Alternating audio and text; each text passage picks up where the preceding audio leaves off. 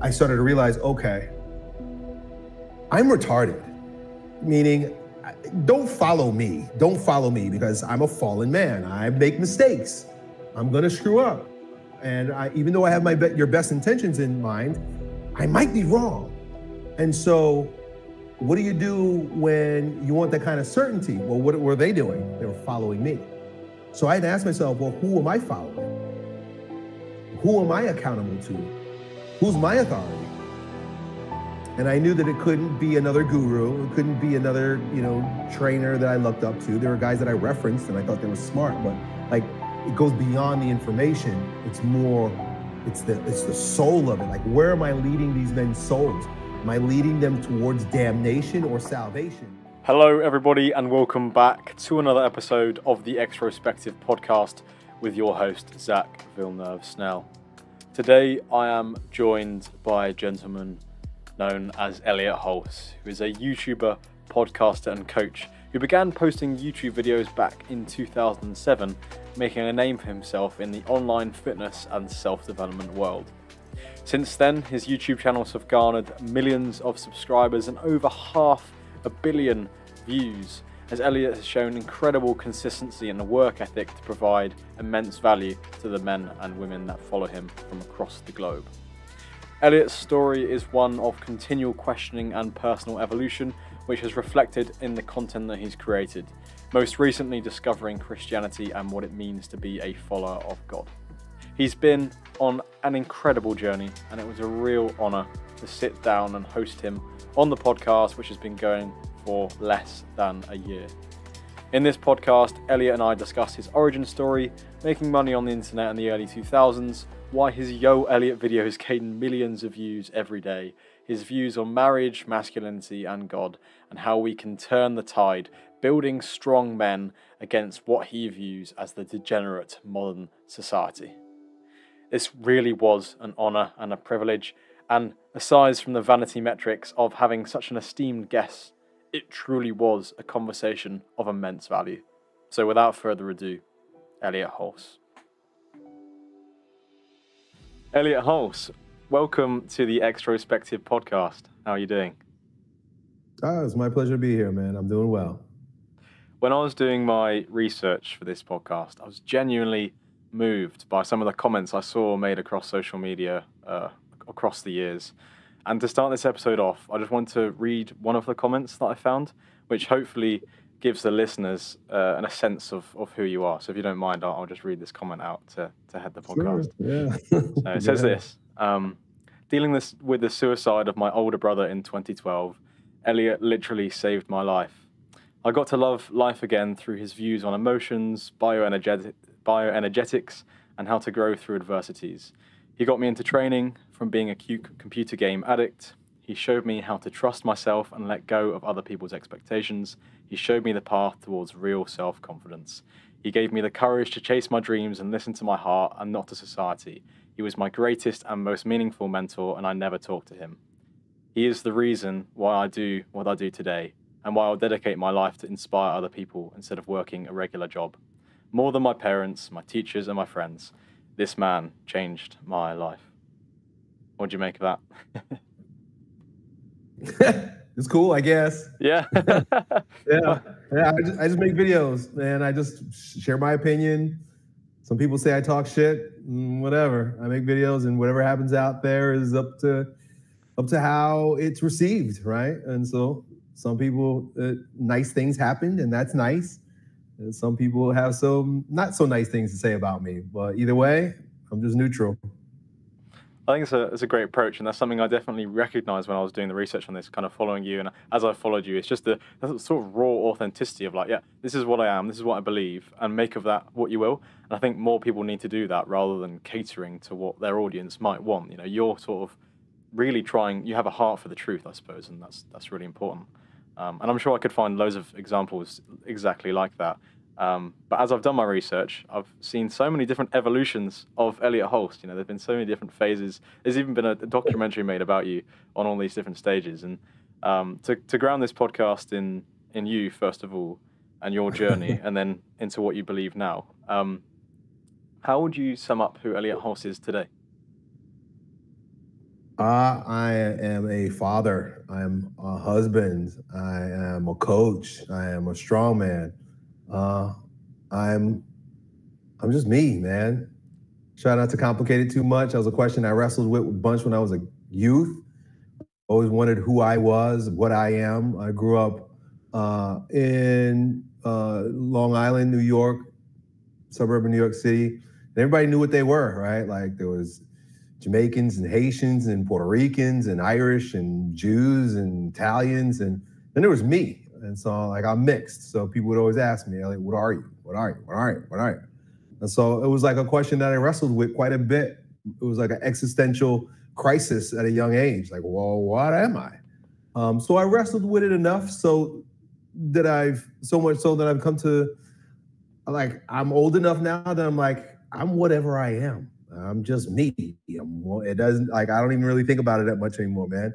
I just do what my dad. My dad's been a great mentor to me in my whole life, and you know he says just doesn't all that stuff, man. We these are first world problems. This whole idea of like what am I and who am I and impact and you know am I changing the world? It's really all uh, narcissistic bullshit.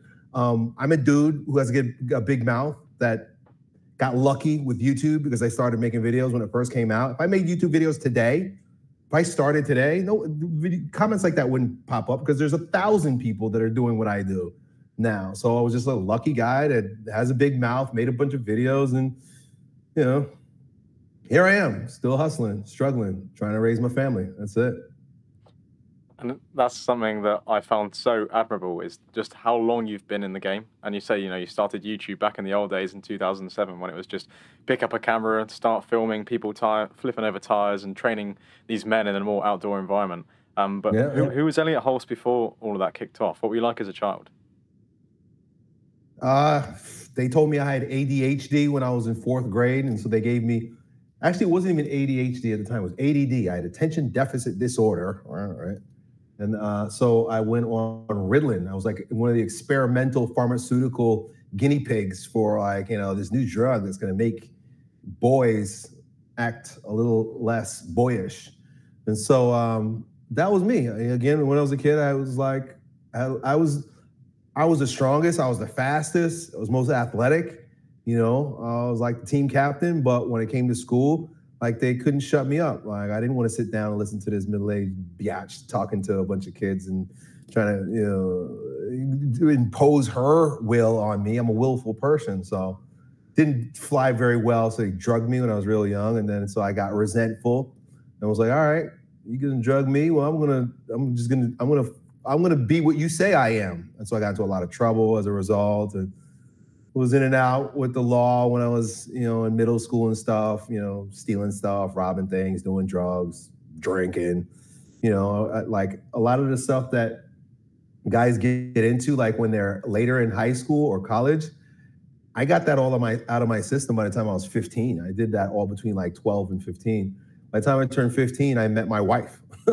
I met my wife and I started lifting the barbell. And between uh, meeting the woman that would become eventually become my wife and discovering the tool by which I would build my life, which is the barbell in the gym, um, my whole focus shifted and changed. And I dedicated my life to, you know, being becoming a husband and a father. We've been married 20 years. And uh, and I knew that I wanted to teach men how to be strong using a barbell. And so um, I started strength camp, you know, at the back of my van, training people with trash in the parks, and um, you know, still to some degree doing the same thing. It's just, I guess that's it was the plan for me. Your dad said on your podcast that he values freedom above all else, and doesn't like to be controlled, and that it's just his nature. And obviously, that's something that would, would have been passed down. And you were, as you've just described, diagnosed with attention deficit disorder. I think that's actually quite on the rise at the moment, supposedly. But I think it's because, like, well, I won't, I won't impose what I think. What do you think that the reason for that is? Because I, I see boys who are like yourself, kind of maybe not so suited towards the classroom. Previous entrepreneurs who have been on the podcast have said very similar things. That they just needed, they didn't like it, that imposition. They wanted to be outside, being physical, being being young boys turning into men, right? So what, what do you Right. make of that whole that whole thing? Like I guess it's Well. I'm no scientist, but I've watched some videos from scientists who say that uh, it's all made up. It was fake. It was, it was a whole political ploy. Um, we live in a gynocentric world that uh, that feminizes men and wants to turn women into men, and we see it. I mean, it's reached its extreme with the transgender thing.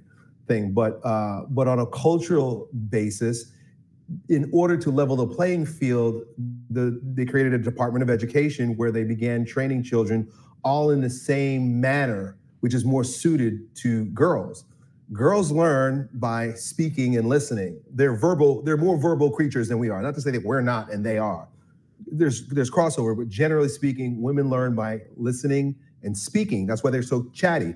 A bunch of girls get together, they just chat, chat, chat, chat, chat, chat, chat. After guys speak for a couple minutes, we're like, all right, well, what are we gonna do? What are we doing? That's why guys go to the gym and women go for coffee. And so the education system is set up, and it more so today, even back then, because you know they get rid of, they've gotten rid of phys ed, they get rid of sports, they get rid of physical activity, and it's all designed for sitting down, talking, and listening. Of course, girls do really well, but at the same time, it is uh, it's an attack against the masculine urge to do shit. And so, as a young man and as a man, like we learn with our hands, then learn by doing things. And so, uh, the whole idea that there's attention deficit is basically a repackaged name for being a little too masculine as a boy. You're a little, you're a little too, you're a little too um, boyish. We need you to shut, sit down, shut up, and act a little bit more like a girl. And so, um, thus, they created a disease and, uh, and and pills to go along with it.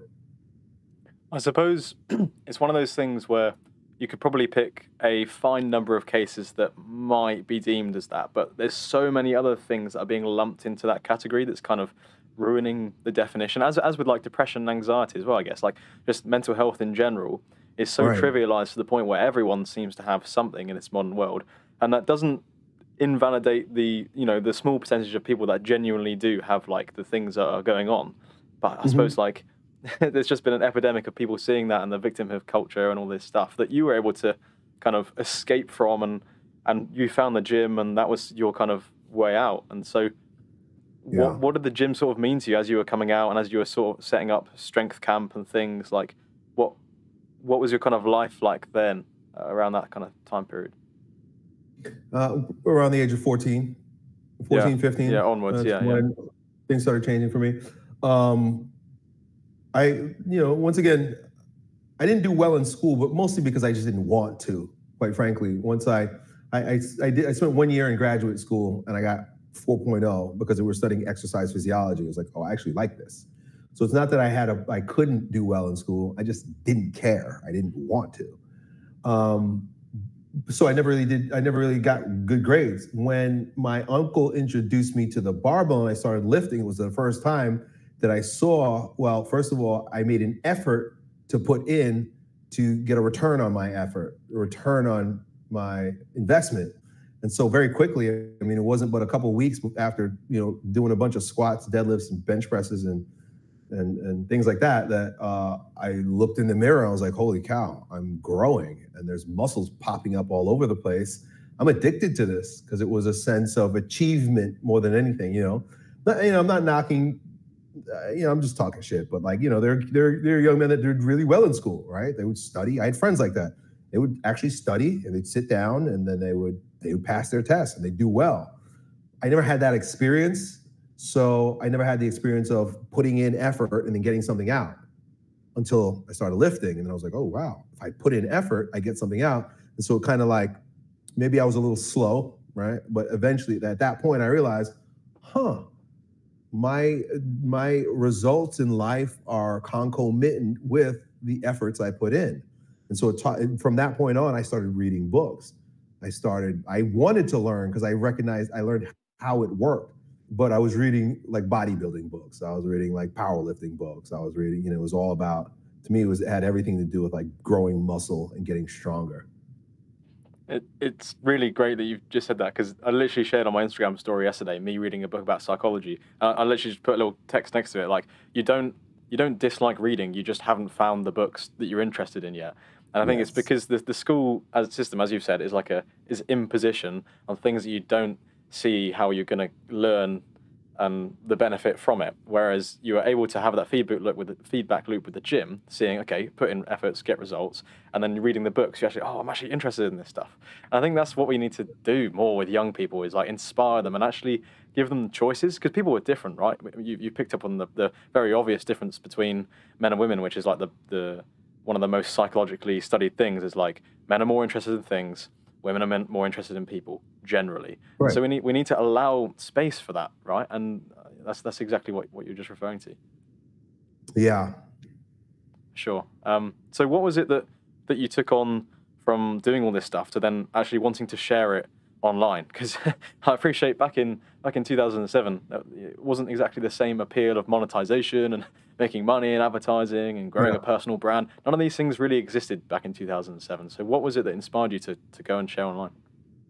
Well, in 1994, my uncle became a personal trainer before there were personal trainers, right? It really wasn't even a thing. He was like one of the first. He got like one of the first certifications. And he started training me and my brothers in the basement, but he made a job for himself. It was the first time I ever heard of somebody working for themselves also. So he was a personal trainer working for himself. And I'm like 13 years old. I'm like, whoa, that looks, that sounds pretty cool. He's like, yeah, I make up my own schedule. I, people hire me. I meet them at the gym and they pay me to show them how to work out. And, you know, I help them lose weight and build muscle. I was like, wow, it's a thing. You can work for yourself and do it by showing people how to lift. He's like, yeah. So I knew in that moment, I was like, that's what I'm doing. There was no other, I had no other, no other option in my mind. It's like, I'm going to work for myself, teaching people how to get stronger. And uh, that was 1994. You you know, of course, I didn't know how that was going to pan out. I just saw my uncle, and he was my inspiration.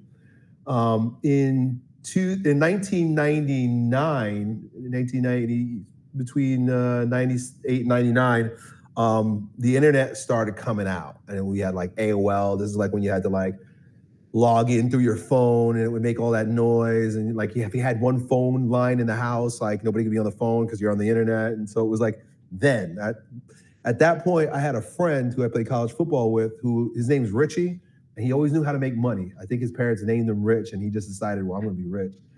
He always had some kind of hustle man. Like he would be like selling tickets to like parties or like he was just he'd hustle. He just hustle. He just make money. And so he liked nice things one day i went over to his house he was like yo check this out and he logs into the internet screech gets on the internet and he goes into an aol chat room and he's like check this out.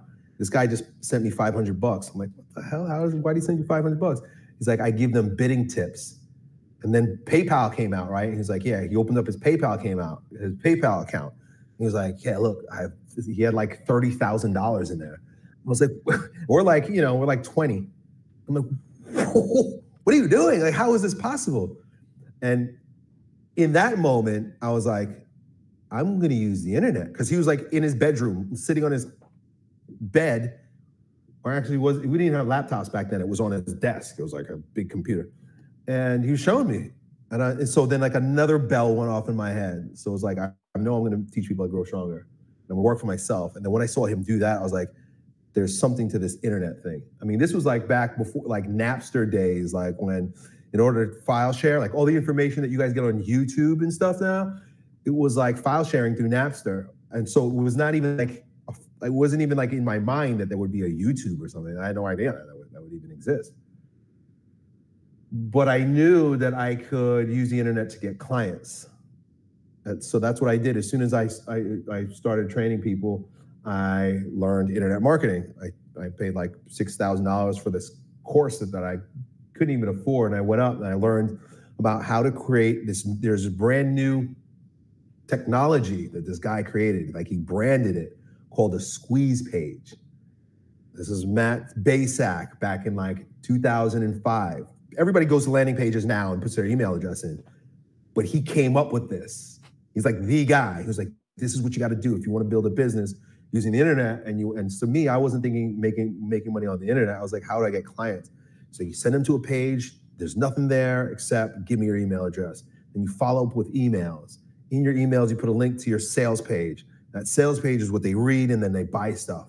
So I created that and I started getting clients. I got a lot of a lot of clients in my in my city in St. Pete. St. Pete was like it was it was podunk like backwards backwater Florida town. Now it's like popping in big city, but back then it was like there was no competition. There was nobody. I was working in a I was working at a commercial gym, but I was building this up on the side because I was like I, eventually I'm going to leave here.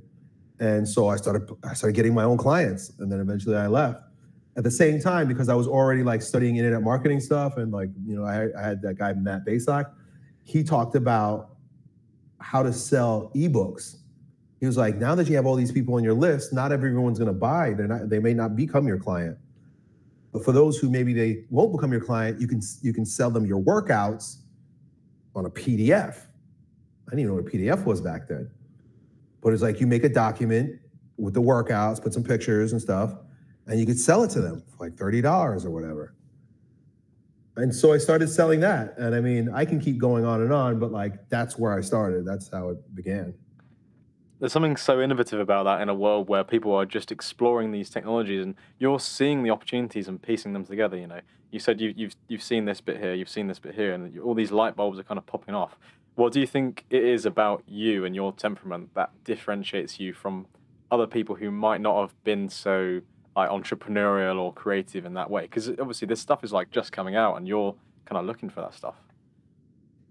Uh, it was my desire to live life on my terms. That's really what it was, you know. So I knew what I wanted. I and so I was looking. I had my antennas out for like, okay, how can I make this happen, right? So when I saw my uncle training people and working for himself, and helping people the way I wanted to help them, right? Because business is always an exchange of value. And so I was like, yeah, like that appealed to my heart. I was like, yeah, that makes sense. I, I can do that. I want to do that. Then when the internet came and I saw my friend like making money at home, I was like, oh, well, that that just kind of that went into the same bucket of autonomy. Okay, wow, I can actually do it through this new technology. And I was, I don't want to say I was late with the internet, but he was really early. I didn't, I didn't even have an email address. And so I was like, okay, I didn't know exactly how I do it. My first website I created was called, it was called, um, what was it? It was like Primal, Primal Edge or something like that. And I was, I was, I coded it all myself. I would like steal codes from other websites. And then I learned HTML just by watching what other, how other people like their websites were built. Now they have like all different types of stuff to build websites, but back then, like they had to code websites. So I taught myself how to code websites. It's fucking crazy. Um, but all with the desire, you know, you asked me like what made me different was that I knew, I guess because of my rebellious nature against the institutional, you know, the institution of the education, I, I started hating authority as a result of the drugs that they were putting me on. So I became very distrustful of doctors, became very distrustful of my teachers. I was like, these people are like, I, I didn't blame myself, I blamed them. I was like, they're wrong. There's something wrong with them. And so as a result, I had like a chip on my shoulder. So I was like, anything to get from underneath someone else's authority. I was a rebellious kid also too, like with my dad. Like I always fought with my dad. Like I just, I'm not saying this is a good thing, but I'm just telling you because I see the folly in it now and I see where it's hurt me in my life as well. Like not being humble. And I've had to be humbled as a result. But it was always a desire to have to be autonomous. That and anything that kind of like and then and then when it came to gyms, I saw there was a guy that was making YouTube videos who was like training people in his garage.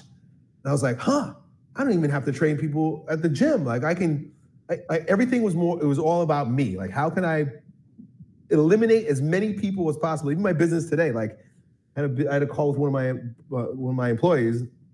He's talking about how to like build this extra team and stuff. I'm like, nah, I don't want to be around people. I want I want to be as autonomous as possible, as light as possible. Like you know, you know, like these guys, like the the soldiers that would like be light on their feet, like just give me, or like these guys that go hiking. They have like uh, I forget what they call ultra light hikers. Like that appeals to me. Like the guys who are minimalists, like they wear like they gotta, they they can't have like more than ten pounds of stuff on them, and they figure it out as they go along. Like I don't know. I think that's just my nature. There's there's so many layers to that, isn't there? Like that applies in so many ways. Like like mentally, literally, physically as well, like pursuing minimalism as opposed to like the material desires of the world. But um, I find it interesting that you have that rebellious nature, but so many so many young men kind of spiral off into a negative, but you were able to use that and fuel it as a positive. And I think that's that's hopefully an inspiration for, for people who might be listening to this, who might feel themselves, they might be later on in the journey, they might still feel like they're being trapped in this system and that they want to get a corporate job and work and retire and whatever. But actually, you know, if you explore the opportunities and pursue what you are passionate about, there hopefully will be things out there to kind of to kind of link up as, as you go along. Um, the YouTube obviously evolves, and for those who don't know, kind of you start to gain subscribers, gain followers, and stuff. Um, one of the key moments I think was probably the transition to Yo Elliott or Yo Elliott. I don't know um, how, how, you how you call it, but um, how did it transfer from talking about gym stuff, doing gym instruction, getting people together, to you literally what you became known for, I suppose, is picking up the camera and just talking your mind. Like, what? How did that kind of spark spark off in your mind? It was easy. it was right. easy. I didn't have to make content. All I did was answer the questions that people were sending me, and whatever whatever questions they were sending me, if I had an opinion about it, because quite frankly, that's just what I was doing, just giving my opinion. I mean, I have I read a lot and I study a lot and I knew a lot, especially about fitness and things of that nature. But um, I I had no agenda. That's another thing, another like kind of a good and a bad thing. But like my rebelliousness against authority is also a rebellion against order and structure. And so I'm sort of a fly by the seat of your pants kind of guy, and it's hurt me too. Like I'm not saying I want everybody to listen to this and be like, oh, I need to be like that because Elliott was successful as a result. Don't, don't get me wrong. Like there are things that suck about me and that I failed at as a result of this. But and YouTube was one of them. At some at a certain point, like I got passed over because it was like I was just I can't keep doing the same old thing that I was doing when it was working in the beginning. I was lucky. And so Yo Elliott was really just a way for me to make a shit ton of content, displaying my charisma without having to work very hard people sent questions and I would literally just I and this was like, you know, when you had flip cams or like, you know, I had to put a camera, I didn't you didn't have them on the phones. Um, and I would just read the questions and I just spit off my opinion and give my answer. And so I could I could make like 20 of those a week if I wanted. Do you think like if you had been 10 years younger, so if all this had happened like around now, obviously you, you mentioned that, that that kind of style of content might not pick up on YouTube as much, but do you think the way that the culture has moved would also mean that that wouldn't be like socially acceptable? Because uh, obviously, like there's a lot of thing talk, talk about cancel culture and politi- political um, speak, and you know with, with, the way that people get held to account for things that they've said in the past, even if they don't think those beliefs anymore. And I'm sure you can probably look back as well and and you can look back and reflect and go, okay, I don't believe that oh, anymore, oh, yeah. or my opinion's changed on that. Of course, because you've had this this huge evolution. But yeah, what what, what are your thoughts?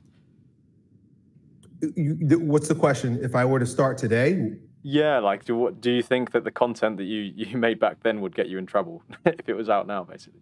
Get me in trouble? No, I was pretty innocuous back then. What I say now gets me in trouble. sure, okay.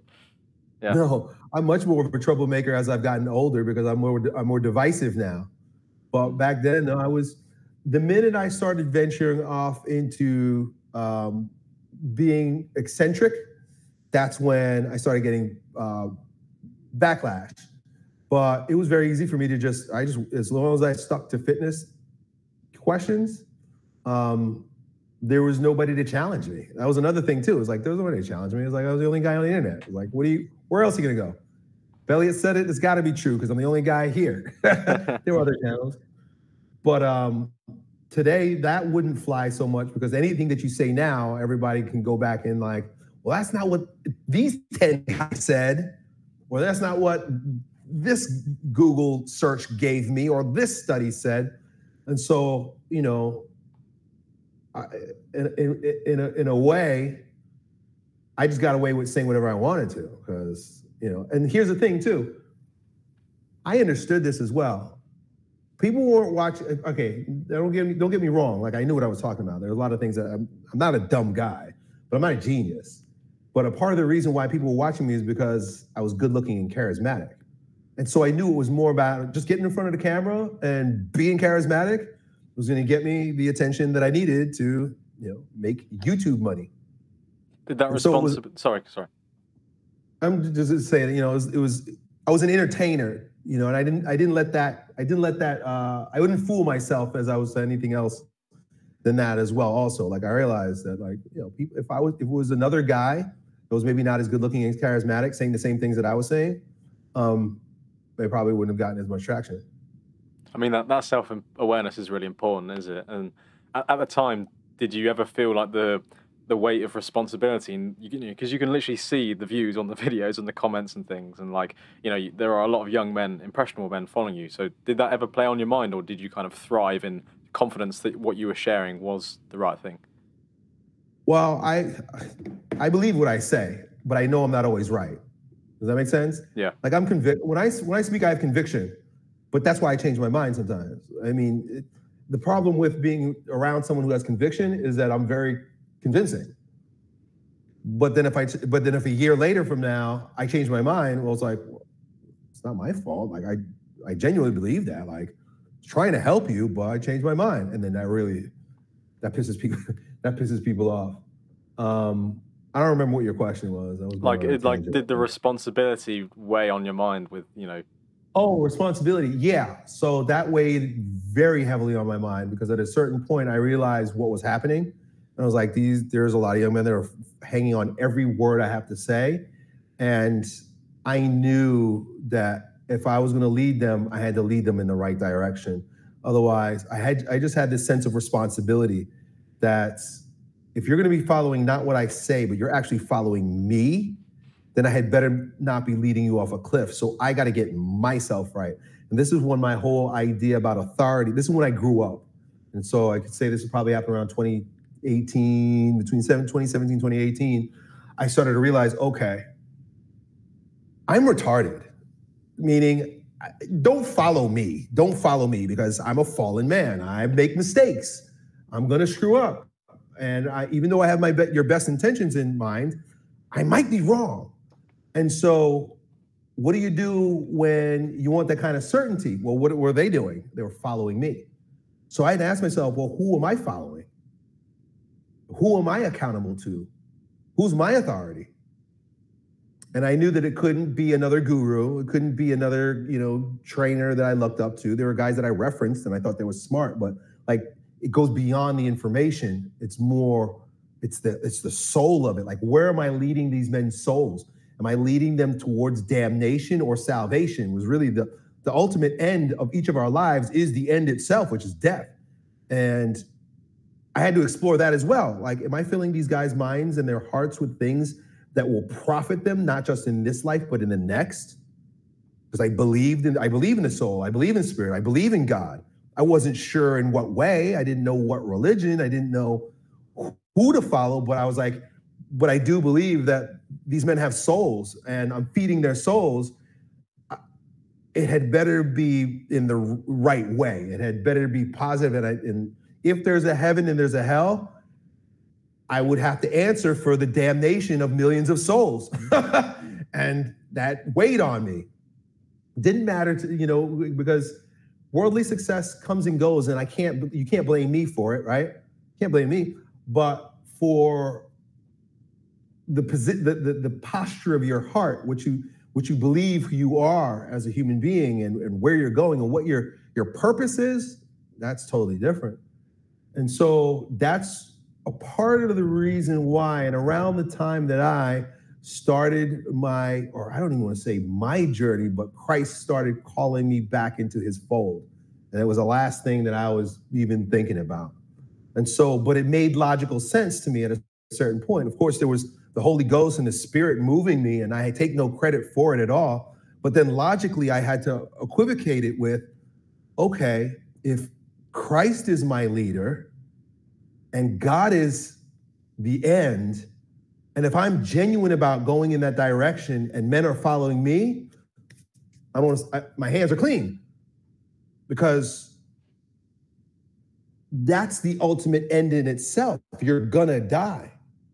And so whether this is true or not, whether it's I'm right or not, I'm I feel much more I, my sense of responsibility is satisfied knowing that at least if there is a heaven and hell, that my intention was to lead these guys' souls to hell because we're all going to die to, to, to, heaven. Sorry, not to heaven, to heaven, and we're all going to die. And I would hate to meet you guys in hell, and we burning up next to each other, and you guys point your finger at me. You told me this.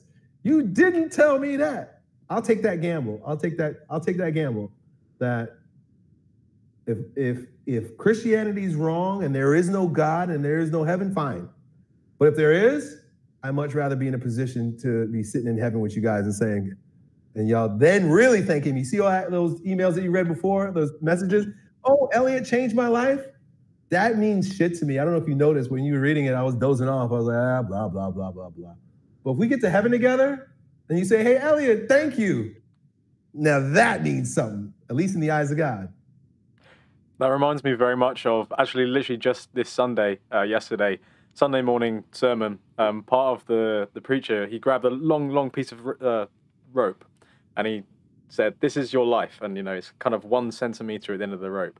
He's like, everything that you do in this small one centimeter is gonna then continue in eternity. And obviously, his illustration is like that's what you should be postured towards. Like, firstly yourself, yeah. and also the where you're leading other people with your opinions and your views and what you're basing your worldview on you know how you're spending your time and i found that deeply powerful and i, I find it interesting how much of a parallel there is between hearing that yesterday and exactly what you've sort of described um, with saying that there um, so you would you say because obviously it was in response to me asking you know the the responsibility does the responsibility weigh down and then that was how you transitioned towards like faith and these more philosophical deep questions but was there anything else that led you on that kind of reflection of of something more because I think it's it was a kind of a trend that you're kind of looking into spirituality and stuff in general in sort of the years building up. So would you say there were any other factors in in coming to Christ and kind of discovering this?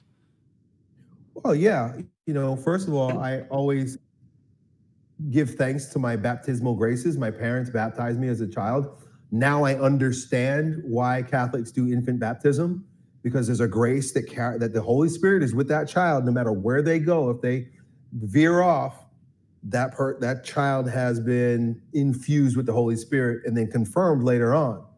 Um, so I just I say it's grace by grace alone. But I mentioned earlier that I've always been a seeker. I've you know like it's kind of it's a millennial thing and i'm kind of like i think of myself as like an old millennial but like this whole question of like who am i? And like what, what am i going to do in this world? And how am i going to make a change? And like that's like our parents my parents didn't think that. My parents were like you just got to work and feed your children and go to church and shut up and like their parents their parents like it was just like yo you just live your life what are you what are you thinking about like these philosophical questions, like like I said, they're first world problems. Um, and it, and it's not just first world problems; it's generational. Like it's kind of a new age way of thinking. We were back then. We were our interest was more in, before this new age way of thinking, which is really narcissism. The the way people would think is more communal. Like where do I fit in with the family? Where do I fit in with my community? You see what I'm saying? It was more grounded. Now it's like, you know, with the internet and everything, it's like, how am I going to change the world? Millions of people are going to, you know, and so I got caught up in that also. But uh, the question about like being open to spirit or being open to God and, you know, walking the spiritual path from the time I was a teenager, I was doing that because of that question who am i? I was asking myself who am i? Who am i? What am i here for? What am i actually what is this actually really about? Like it was a weird thing for a 12 year old to be asking themselves but it was imprinted in my heart. So it's not like i was ever an atheist or or i don't know if the word agnostic but like i've always believed in the god of the bible but it was mixed up with all kinds of different stuff and new age stuff and philosophies and things that were wrong ultimately turned out to be that were distractions and that you know lead astray. I was led astray. I allowed myself to be led astray. But then ultimately, when it was time to come home, I didn't. I didn't. I didn't know that I was going to become Catholic. I didn't know I was Catholic. But like at some point, God laid it on my heart that it was time to confess your sins, repent, and return home. And I even resisted it a little bit. I was like, I don't know anything about that. Like, and I'm not sure I want that but I'm going to go with it. yeah, greatest thing that has ever happened. And so, man, yeah, here I am. It's just been the journey the whole way through, and I'm back home. Really, that's what it is. Like I just came full circle. Yeah, fantastic. And thinking about being on a journey and kind of going full circle and, and coming back home as you've just described there. Um, one of the things that I find interesting about kind of doing the, the research and maybe like the last five, 10 to, five to 10 years on, on your kind of journey is how you spent a period of time really leaning into like the, how men should lean into their feminine side and, you know, the tenderness and beating out the aggression. And then how it kind of went the other way with maybe like more red pill stuff. And then it's kind of now integrating that together. And so I did a bit of like reading on, you know, what it means to be an integrated man. And it's quite funny because then I Googled on YouTube integrated man and the top video was like two years ago from yourself. I was like of course. Like that's such a, a, classic thing that you've been on this journey. You've seen the, the masculine and the feminine and you've been able to integrate it. I suppose that's also along the same uh, line as the as the coming to christ and stuff. So i just wanted to ask like today what what does it mean to you to be uh, an integrated man? Wow. Yeah it's all of that. And so it's a, it's being full spectrum. And i was fascinated to have discovered at a time of crisis for me was what was happening in my life that i discovered work of carl jung quite frankly. But it was a neo-jungian uh, by the name of robert moore and the mythopoetic men's movement that was led by another guy named robert bly and i started learning about masculine initiation uh, as well as the um, the archetypal man, the quadrated psyche, according to Jung, which is you know is the cross, right? It's ultimately the cross, the quadrated psyche. So the the the, the liberating or the uh, the ascendant, and also the the horizontal, the earthly aspect of being a man, spirit and earthly. But those that quadrated psyche, you see, it's an archetype that you see everywhere. Just watch, like for I'll tell you what the, the, the mythological language around it, but then I'll point out like where you see it everywhere. So to be the fully integrated man is to be king, warrior, magician, lover. There are four aspects of a man. He's thinking, feeling, being, or doing. That's all it is. I mean, and and I say that's all it is, but that's deep. Like you can, like Robert Robert Moore, you could spend a lifetime digging into any one of those quadrants, right? Thinking, feeling, being, doing. We, we, we can't, we're not anything else. In other words, you can't be doing anything else because then you're doing. You can't be thinking of yourself in any other way or you're thinking. And then there's feeling. But the one that really is most existential is is being, right? And that's that's the imago Dei. That's the image of God. That's the King, Christ the King, Jesus Christ, being itself. It's the King aspect is mean, if you notice a king crown, it's always pointing up. It's about the existential. And so we're spiritual, we're mental, we're emotional, we're physical. There you go. You got those four again there. Right? So the fully integrated man is spiritual, mental, emotional, physical. Right? The crown, the mind, the heart, and the balls. Fully integrated. That's the integrated man. So it's uh it's that that makes it tangible right? You're thinking, feeling, being, doing. Spirit, mind, heart, balls, sex, body. Um, king, warrior, magician, lover, the quadrated psyche. So, but then the question becomes how do you integrate this? And so it's layers.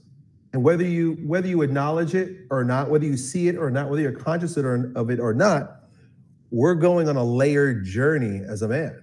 I mean, there are people who, who study this archetype. There's a really good book I mentioned to a friend yesterday called the um, the the Amazing Development of Men um, by Alison Armstrong, and she talks about like the the the phases of being a man. When you're a boy, you're a you're a page, like you know you're running around with your fake sword and you're playing war, and you you, know, you look up to like the teenage boys because they're actually on the horses riding. The teenage boys are the older boys now. They're they're knights right? They're little warriors, like, you know, they're playing, well, if in our realm, like you're playing football. Like I remember being a page watching my my cousin play football. He had like the shiny helmets on. They come out on Saturdays at the game field, which was across street from my house, football field. And it was smack the, the, the the band would play and they would run out, they'd rip through the banner, and then their helmets are smashed. And it was like, whoa, that's when you get to be uh, like a young, like a young warrior, right? A young knight. That's what they should call it, a knight. And then as you grow older, you become a warrior, right? Like, you know, you're probably at a stage where you're you're hustling, trying to build your business, you know, you're doing your podcast, you know, trying to make that money, trying to like, you know, be impressive to other men and to women as well and like make your place in the world. Like so now you're in warrior stage where it's like grinding every day. You're just fighting for your place in the world. And then you get to be a late warrior. And of course, I'm not following the king warrior magician thing, but I'm just showing you how this all happens in layers but use different language you can use. Then there's late warrior, and late warrior is like when you made it. It's like, whoa, I'm here. I did it. I've got some money in the bank. Maybe you have a wife at this point, and you know, you maybe you have a, a house with a mortgage, and you're like, all right, I got it. Then you start asking yourself, what is this all really about? And then you go into a catabasis. You go into a mid. You, they call it a midlife crisis because they don't understand it but it is a but it's a going down so that you can arise again and that the only, the only way you become a king is if there's a death there's no king without a sacrifice so that that late warrior has to go into a into a tunnel he has to go into a downward spiral where he purges all the things he collected from his the early part of his life that no longer serve the royalty that he's headed towards the, king that he's going to become and so uh, you could call that a catabasis. You could call it a midlife crisis. You could, and for me, it wasn't midlife. It was I was 36. But you can, but these are patterns. I can talk. I can talk all day. But 12 year patterns or 12 year patterns where these are predictable patterns that you can see happening. 36, I was at the peak of the peak of the thing. And so at 24, I had the same experience. And at, like I told you, I met my wife when I was 14, 12. That's when I was getting into trouble. But you go into a catabasis, you go down you and that's called you could call it shadow work also. There's a time for shadow work. I think a part of the problem with having too much information in our culture is that like young men that are like you're in a stage that you're you shouldn't be doing shadow work yet. You should be fighting. Like you come back from war and then you do shadow work. But a lot of these you know young pussies who are like oh i gotta like self-care. I gotta take care of my wounds it's like no no you're, you, you don't lick your wounds until you go to war you haven't gone to war yet. You're still, you still got milk in your teeth. So you got to go fight. You got to get really wounded out there, and then those like those wounds really start showing themselves to you. They're magnified when you're in battle. A lot of these guys who think that they're, you know, that they're overcoming things, and you're like, you're 21, bro. Like, just go work.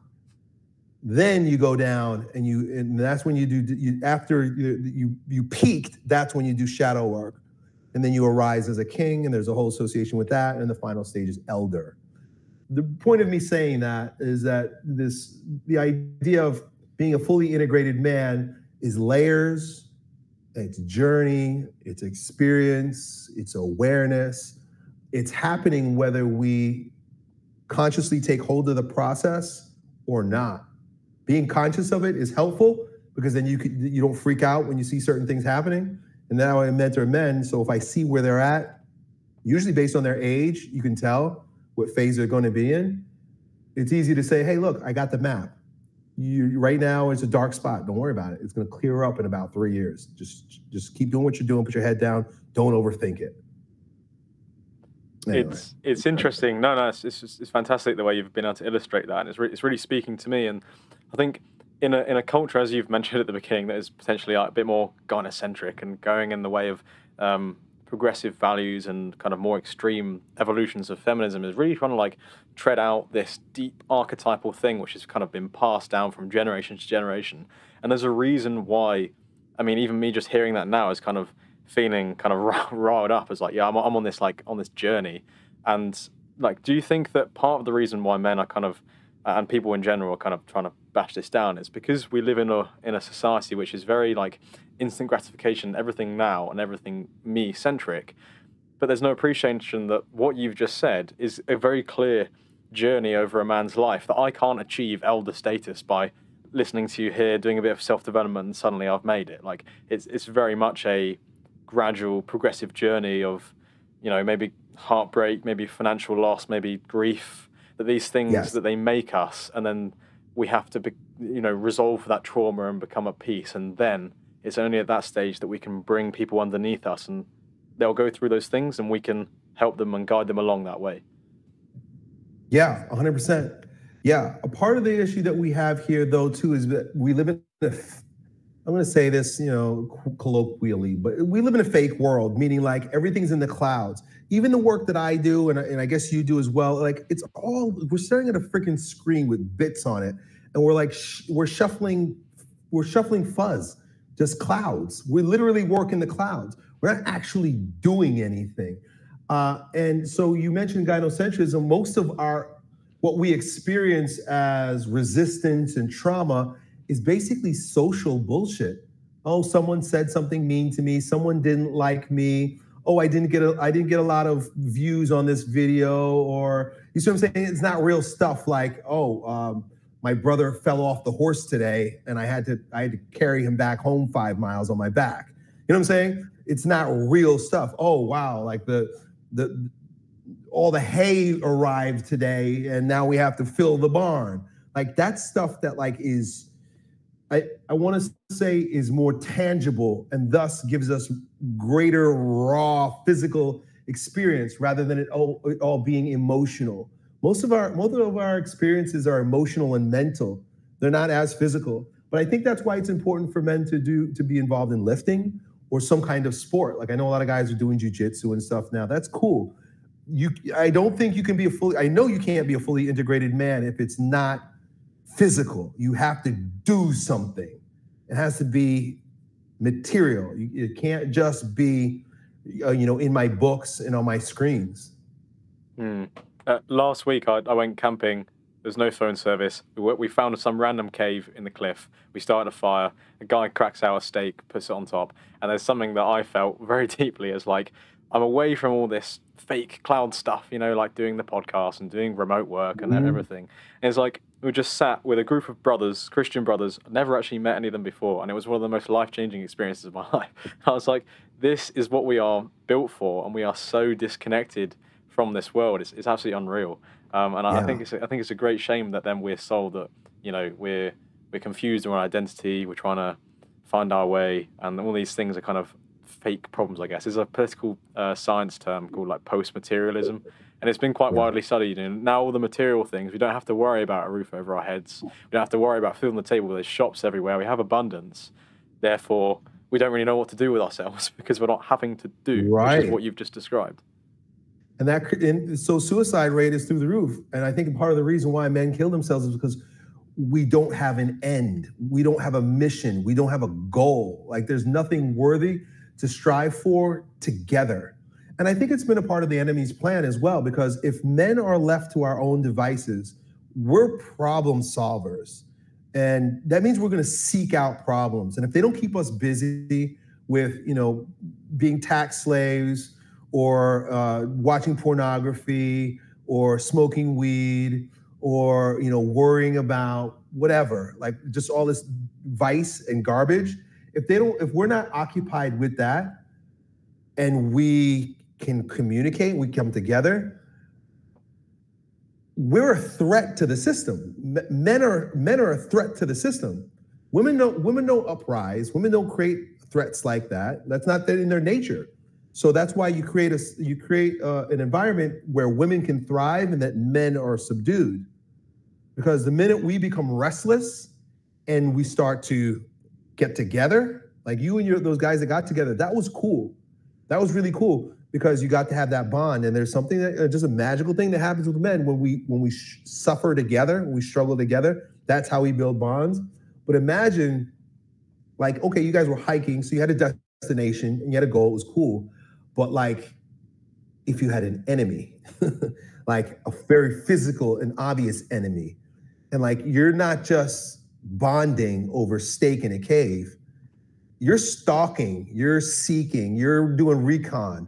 You know what I'm saying? Like you're you're you're you have the survival of your people in mind with what you're doing. That would that tur- that fire that you felt on the inside is turned up tenfold because now you have you have purpose and you have mission and you have valor, right? Because the, the man next to you sees how hard you're putting in and, and what, what risks you're willing to take. And so then there's a sense of dignity and, and, and honor. All that virtue, it's for the most part, it's like, you know, I'm exercising my virtue so I can make some internet dollars. It's like, what the mm. Yeah, it was it was such a such a powerful moment. I'm I'm glad we got to reflect on that in, in the podcast as well. Um, some some great words there, and just thinking about reflecting on where you've got to now. We've we've spoken about what it means to be an integrated man and what it means to be in your life, and we've kind of reflected on on some of those those archetypes. Just thinking about the the current state that is being attacked of masculinity, where we're being told that it's toxic and these expressions of traditional masculinity are kind of being stamped out. How do we strike the balance between being like overly aggressive and also being graceful? Because I, I, I remember seeing a, a reel of yours probably a few months ago now, where you basically said that um, you can you can what you're saying can be right, but the way you're saying it can be wrong. And I think that's quite a it's quite an important point, especially when there's so many people on both the left and the right, if you want to talk politics or whatever, that just they're very dogmatic. They what they could be saying is truthful. Like, do you know the Daily Wire? Uh, I'm sure you, I'm sure you've come across the Daily Wire. Um, like what what they're saying potentially there's some truth, but they're saying it in like an unloving way, and it's really challenging because when we look to Christ, for me anyway, that's that's truth and love kind of perfectly combined. So like, how how do we kind of piece these two together? Yeah, that's a good question. And I'm, of course, you reference Christ. What does he say? Be wise as a serpent, as light as a dove, something like that, right? It's like, yeah, I get that, right? Like, you don't back off like the serpent. You lay low, but you strike. You say what you have to say. You still inject your venom, right? But you make yourself sort of, you know, uh, not not a fighter, right? Like you're doing it, you're you're you're doing it in a wise and congenial way. Uh I don't know, man, because like look at look at Andrew Tate, who's become like the most popular guy in like the quote unquote men's movement, right? And I don't watch him. I've seen a couple of his videos and I know why men follow him because he's charismatic and he's got a big mouth and he's willing to say hard things that need to be said. I mean, Christ did that too. He's Christ said a lot of really based things like, how could you say that? And like he just said it anyway. Like he but when he refers to himself as the son of man, I think a lot of times it kind of goes over our head, but it's a reference to Daniel, which is basically he that's when he's saying he's God. He's saying, son of man has no place to raise, lay his head. Back then, when people heard him say that, they're like, "Ooh, you can't just go around throwing that word around. Like, you're claiming to be God. And so it's like, it's true, but it's going to, and it might hurt your feelings, but it needs to be said. There was a couple other things. I was watching the the uh, the the show The Chosen, which I think is pretty cool. Some people have a problem with it, but there was a scene I forget where he says I don't remember what it was, but it was like so based I had goosebumps. Like one of the Pharisees was asking him, you know, like uh, they were trying to like condemn him, and maybe it was this where they were trying to condemn him. They wanted to push him off a cliff and like kill him. And he just like walks up to them and he's like, "Today's not the day." He just walks right by them. It's like he, there, that was like that. That was like a slap in their face. Or like when he was in the temple with them, just all these allusions to being God. Like he was ridiculous. He was incredibly based and would say things that he knew was going to piss people off in the name of truth and because of love, right? So I think you know I brought up Andrew Tate that when when people are so hungry for the truth and they see it in a in a very um, contrasting way, like a like a very uh, sensationalized way, it it's like a wake up call. It's like an alarm clock. I, like it it doesn't sound good, it doesn't feel good, but it's like, damn, but I I'm, I'm awake now. Like I needed to hear that. Not you know I'm not putting myself in either of their categories, but I know a lot of videos I've made in the past. People, one of the comments that I would see repeatedly over and over again was, Elliot, I hated you when I first saw your videos. They hated me because of the way I was saying things that they didn't like what was being said. And of course, I, you know, I talk, I have a harsh tone to me. I just talk loud. But then I realized, you know, they were like, yeah, six months later, they come back and they apologize. And like, but then I realized you were right this whole time. I just wasn't ready to hear it. So, you know, we can get caught between this. Like, I think, I think I would err on the side of being too aggressive in this day and age than being too passive.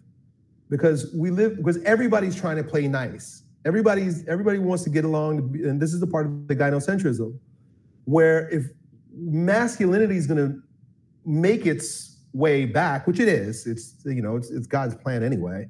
Um, it's the guys who, who talk loud, the guys who talk big, and Andrew Tates, whether he's right or wrong, that are going to spark that masculine excitement in men, and they're like, "Whoa, okay, yeah, that's right. Feminism is from hell. Now I understand why. I'm happy someone's saying it."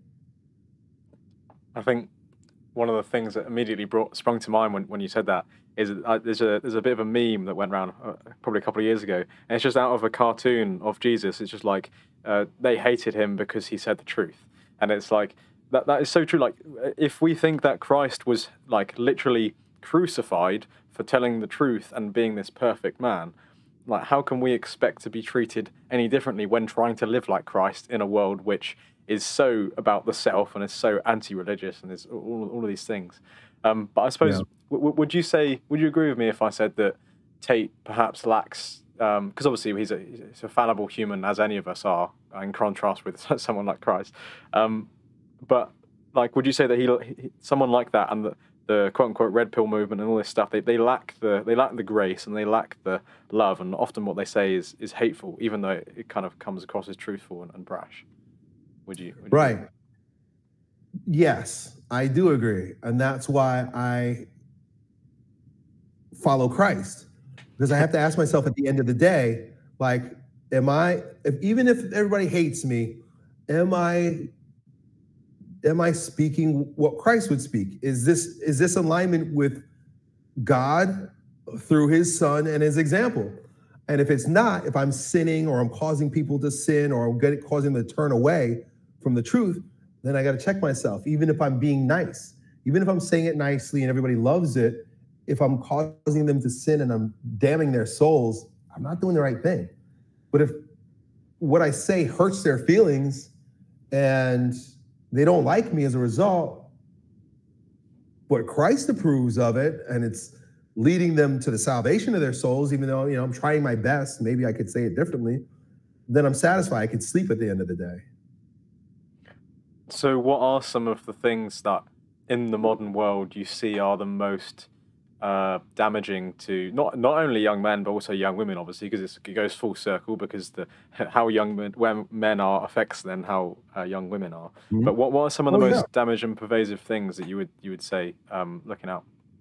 Yeah, it's all it's integrated. We're not alone. Men and women are not alone and we see what happened in the garden. And we're just living the reverberation of the fall. We literally are. Feminism started when Eve didn't listen to her husband and took the bait of Satan. And so, where are we today? Women are not listening to God the Father. They're not listening to their fathers. They don't have any fathers. And men are taking their bait. And the bait comes today, not in the form of a fruit from a tree, but it comes in the form of fornication and porn. And so men have literally put women on a pedestal and they follow and lead and live their whole lives so they can get some puss. Literally. That's what most men's minds are at. And it's because of an unleashing of chastity. Imagine we lived in a world that didn't allow contraception because it was against the natural law and against God's law, didn't allow abortion, that, re- that was that looked looked down upon fornication, right? Where married uh, sex outside of marriage, so it, you know, it begins with this. It become it, it, it has to be a sexual dynamic issue. It can't be men by themselves because the fall of man is his following of women. And so that could come in the form of also pornography. Like a lot, that's the issue that I deal with the most in terms of the men that come and seek my guidance. 50% or more, they're losing their souls because they're watching screen sex so it's it's it's sins of the sins of the flesh, sins of the flesh. And that's that's uh, the sin that the Bible talks about fleeing from. It's not just that you don't do it. It's like flee from sexual immorality because it is so entwined with our nature. Like in, in God's design for sex, it's a beautiful, loving, intimate thing within the confines of marriage. But outside of it, it can be so destructive and it can be so hurtful for everyone involved. And I mean, I, am I'm, I'm baffled, and I'm sure there'll be pe- people listening to the podcast who don't share our views on this potentially, but but they're they're trying to listen with an open heart because I've sent it to them. Because um, hopefully, I'm so happy with this episode. I'm trying to you know share it with all my friends and stuff. And I, I know they'll be listening to this and potentially not agreeing, but I, and I see them at you know, you know university. It's almost celebrated and encouraged of like open sexuality and exploring your sexuality and all this deviance and stuff. And I I find that just so odd that people can't see that you know there is the there is so many downstream damaging effects of how you view yourself and other people from it. Um, what are some of the things that you, you tell these men then? Like, you know, you're saying it's one of the biggest problems, but how do you how do you help them out of it?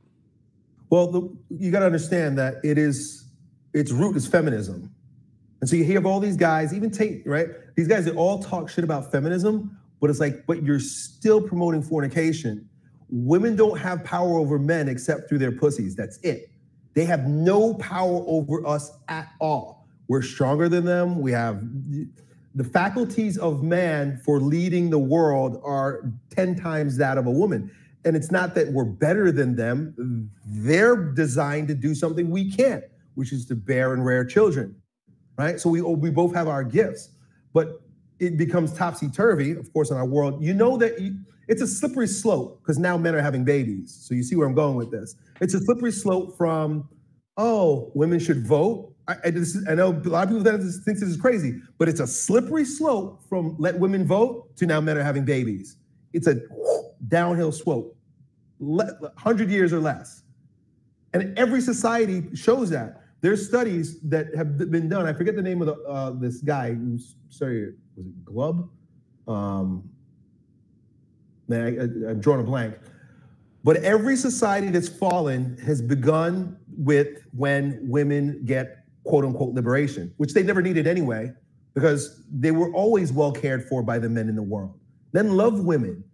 Husbands were always good to their wives. This whole idea that they were all they were beaten and mistreated, that's propaganda. That's propaganda. It's lies, especially in, in Christendom maybe in maybe in Islam or something like that, but Western civilization elevated women so much so that we have Mary, who is the most venerated woman. There's statues and paintings.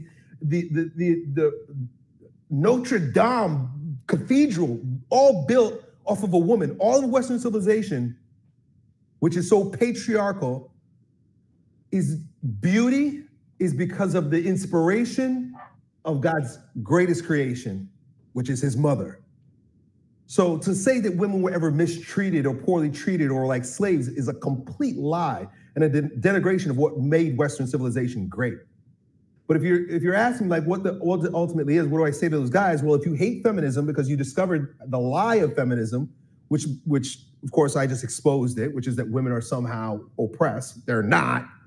Um, if you want to eradicate feminism, you got to understand that the number one weapon of feminism is fornication. Because when when sex is outside of marriage, now women lead men. Men are the gate. Have you ever heard this? Women are the gateways to sex, of course. But men are the gateways to relationship. So if you put relationship in front of gate in front of sex, who is the real gate? Men are. But what we have now is the opposite Women are the gateway to sex. We put sex first, so who is in charge? The woman. If men start saying no, I'm not, t- I'm not taking your bait. I'm vetting you to see if you're a worthy woman to live in this house with me. If you're going to be a good mother, you're going to be a good wife, you're going to be a good caretaker, you're going to be a good homemaker. I want to see if you're a worthy woman of my value as a man. Because your pussy is just as warm as hers, and hers, and hers, and hers, and hers, and hers. It's not that special. And so when men start valuing ourselves to such a degree that we don't need their sex, but they need our relationship, because women, as much as men quote unquote need sex, which I like to say, you know, God bless the man that doesn't need to blow his load, because that means you've got total self control. If you're if you're around and your life is ruled by what you need to do with your dick, it kind of sucks. But women need relationships. They thrive in relationships. They're relational beings. They, their whole sense of self worth is not, and as perverted as it is today, women still know this, this is why they lie about their, their notch count. It's not, the woman's worth is not from sex and how much sex she gets from man. That, lo- that lowers her worth. A woman's worth is de- demonstrated by her ability to keep a good husband, find and keep a good man. That's how you know it's a good woman. If she's been with a man that's a high value man for a long time, there must be something good there besides, you know, the twat that she sits on. And so, you know, that is a paradigm shift. Men, we have to realize that when we weaponize chastity, we take back our power as men. But as long as we're having sex with them, as long as we're paying OnlyFans, as long as we're fornicating, as long as we're watching porn, they're going to rule the world. They're going to because they got you on a leash. Everything you said there, firstly, like thanks for sharing because I, I think you articulated it very well and it definitely resonates with me. But I think it speaks to the importance of because men are also you know innately flawed and sinful and um, are tempted by these things so much that we maintain something that sits above us, as in God, so that we are God fearing men, so that we keep to his word. Otherwise, we live in a world where we have figures such as, you know, you, you know, you could argue a Tate kind of last year and just generally red pill community in the manosphere who kind of say these good things about human nature, but then create the exact type of women that they, they then kind of completely roast for sleeping around, even though they're sleeping around, and there's they don't have control over their dicks as you've as you've described, right. and it's like because they've taken self ownership of what they where they draw the moral lines, and it speaks to the importance of having objective morality in the form of an outside moral force, which is God, who's literally written the perfect moral framework in the Bible. And I think, right. you know, if more men return to that, as you've done and as now you're encouraging people to do, and hopefully as, as I'm encouraging people to do, then we'd see a better world. But it's, you know, it's completely flipped on its head, as you've said. You know, people are rebelling completely the other way. And uh, we're seeing, well, I guess we're going to see, start seeing the fallout from that now in 10 yeah. years, in 20 years. I mean, they're going to see this, we're going to see like in the next 10 years, the fallout with all these leftover women who are riding the cock carousel but have no babies is going to be the most childless generation of women that we've ever seen. It's gonna, and I don't know what we're going to do with all these leftovers. what, val, what value are they? What are they going to be middle managers? Are going to be checking groceries, the store? Like I don't get it. What are you going to do? Because no man's going to marry them. And uh, we're going to have population collapse as well, I suppose, because we're going to have less and less kids, and then at some point. You know, but you're gonna have huge societal issues. Having kids are having kids, right? Like traditional Christians, they're making babies. We're being outbred by the Muslims. The only reason why Islam is the fastest growing religion is because they didn't stop making babies because they never got fed the Western lie that oh the world is overpopulated or you know it's more economical to have less children. All those are lies in order to depopulate, mainly destroy Western civilization. And so, considering everything we've spoke about, um, I'm conscious of time for, for both of us coming up. What are the ways in which we can communicate this sort of message to a world which is so diametrically opposed? Like, how do how do we package this message of, of biblical values, and then how that cashes out as you know gender dynamics, masculinity, like all like all of the different issues. Um, and I want to preface this question for the for the listeners' benefit as well because uh, with something that I was speaking about with a friend last week, which is, you know, we were talking about on an individual case by case political basis. Say there's an issue such as I don't know, abortion, transgenderism, all these like hot topics that are going off now. It's like, is there any worth in us debating those things if we don't? You know, surely those people aren't going to agree because their whole worldview is so different, and really we need to be preaching the gospel to them. And then from the gospel then it's kind of then those kind of later views and individual things get changed. So given that context hopefully for for listeners as to where i'm at with this how do we communicate um, this whole message that is so opposed to the world today? Well, remember how i said earlier that men learn by doing well a part of learning by doing is watching other men do it and so, unless we see other men who are successful husbands and fathers raising families, really holy, healthy families, it's just a figment of our imagination. So, you know, I'm, I'm tempted to say, of course, by the grace of God, because by the grace of God, I came from an intact family with an alpha male dad and a mom, a woman who was amazing. By the grace of God, I met my wife when I was young and I, repeated the pattern. I didn't know what I was doing, but I know God knew what he was doing because he knew at some point that there were going to be millions of men that follow me.